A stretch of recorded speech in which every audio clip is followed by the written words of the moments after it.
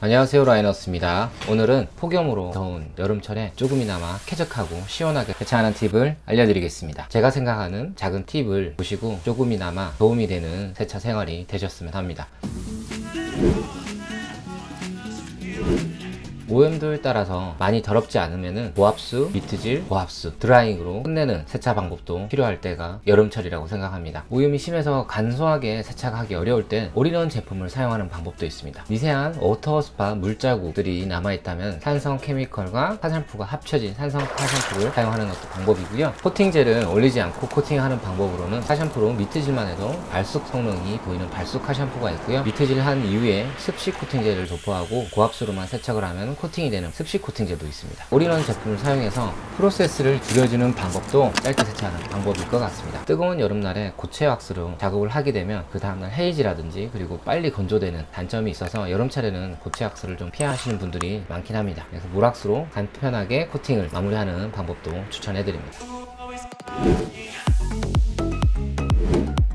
실내 세차장 중에서도 여러 bay가 한꺼번에 되어 있는 실내 세차장보다는 단독 bay에 에어컨이 설치된 세차장을 이용하시는 게 가장 시원하게 세차할 수 있는 방법입니다. 다만 에어컨이 없는 실내 세차장 또는 실외 세차장보다는 비용이 좀 더 많이 들어가는 점이 있긴 하지만 쾌적하고 시원하게 에어컨 아래에서 세차를 할 수 있는 방법입니다. 집 주변에 실내 세차장이 없으셔서 실외 세차장을 이용하신다 그러면 더운 시간대는 꼭 피해서 세차를 하시길 바랍니다. 해가 진 다음 늦은 밤 시간대부터 새벽 그리고 이른 아침 시간이 하루 중에 가장 시원한 시간대입니다. 그래서 여름철에는 직사광선이 없는 시원한 시간에 세차를 하시는 것도 좋은 방법이고요. 어쩔 수 없이 세차를 낮에 해야 된다면 햇볕이 덜 드는 그늘진 세차장을 이용하시거나 흐린 날에 세차하시는 것도 하나의 팁일 것 같습니다.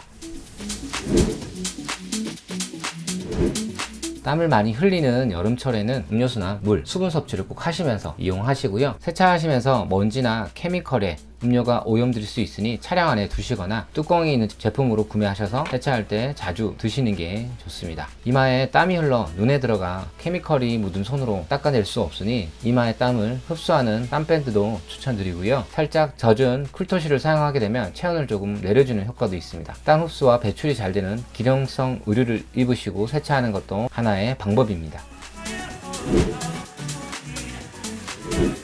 세차하면서 모기가 물렸을 때 정말 신경이 쓰이고 불편한데요. 세차장에서 모기가 많다 그러면 세차하시기 전에 모기 기피제를 노출되는 피부에 뿌리거나 도포를 하고 세차를 하시면 모기한테 물리지 않고 좀 쾌적하게 세차를 할 수가 있습니다. 땀을 흘렸을 때 습하고 끈적거리는 피부에 파우더 시트를 사용하면 뽀송뽀송하고 쾌적하게 느낄 수 있어 시원한 세차에 큰 도움이 되실 겁니다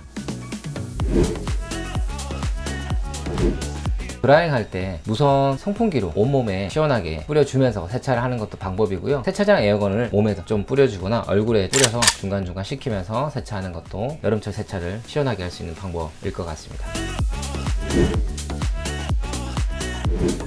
마지막으로 여름철이다 보니 어, 시원한 과일향이 나는 케미컬을 사용하게 되면 과즙미가 느껴지는 여름철 세차를 즐기시는 것 어떨지 한번 추천해 봅니다. 네, 오늘은 이렇게 여름철에 세차할 때 쾌적하고 시원하게 하는 세차 팁을 알려드렸는데요. 영상 보시는 분들도 자신만의 여름철 세차 팁이 있으시면 댓글로 공유하시면 좋을 것 같습니다. 오늘도 부족한 영상 봐주셔서 감사드리고요. 다음번에 더 좋은 영상으로 찾아뵙겠습니다. 감사합니다